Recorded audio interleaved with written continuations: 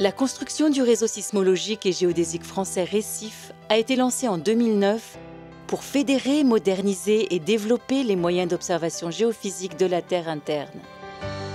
Cette infrastructure de recherche nationale est aujourd'hui intégrée à l'infrastructure européenne EPOS et participe activement à sa réalisation et à son évolution. Par ailleurs, certaines composantes de Récif EPOS font partie de structures fédératives à l'échelle mondiale. Récif EPOS se base à la fois sur des réseaux permanents et sur des parcs d'instruments mobiles pour effectuer des mesures sismologiques, géodésiques et gravimétriques continues. Les données recueillies révèlent la structure et les déformations de notre planète.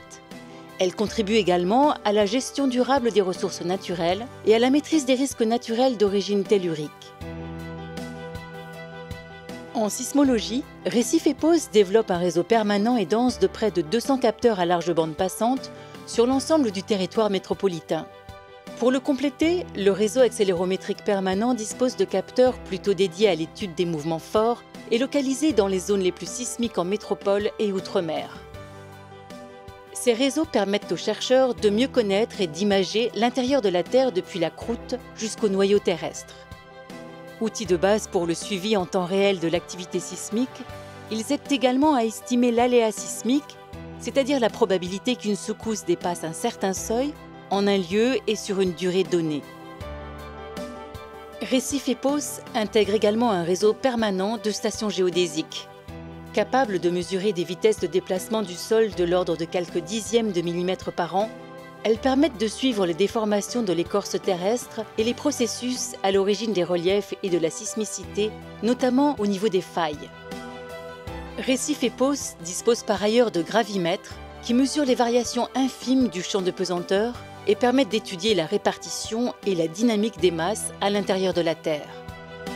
En complément de ces réseaux permanents, Récif et Pose coordonne différents parcs d'instruments mobiles qui permettent de densifier temporairement les mesures en France ou dans des zones à fort intérêt scientifique en Europe ou dans le monde. Ouvert à toute la communauté scientifique académique, il propose des équipements variés, modernes et parfois exceptionnels, comme un gravimètre absolu basé sur la chute d'atomes froids. Un système d'information performant gère la dizaine de téraoctets de données collectées annuellement. Les données brutes sont analysées, validées puis centralisées afin d'être sauvegardées et mises à disposition en temps réel et gratuitement, suivant une politique de science ouverte. Chaque année, des dizaines de millions de requêtes sont effectuées sur les serveurs par des scientifiques du monde entier. L'Institut national des sciences de l'univers du CNRS coordonne le consortium Récif et POS, composé de la majorité des universités et organismes français concernés par la recherche en géosciences. Plus d'une centaine de chercheurs, ingénieurs et techniciens collaborent au quotidien pour faire de Récif et POS un formidable outil scientifique au service de la communauté mondiale des sciences de la Terre.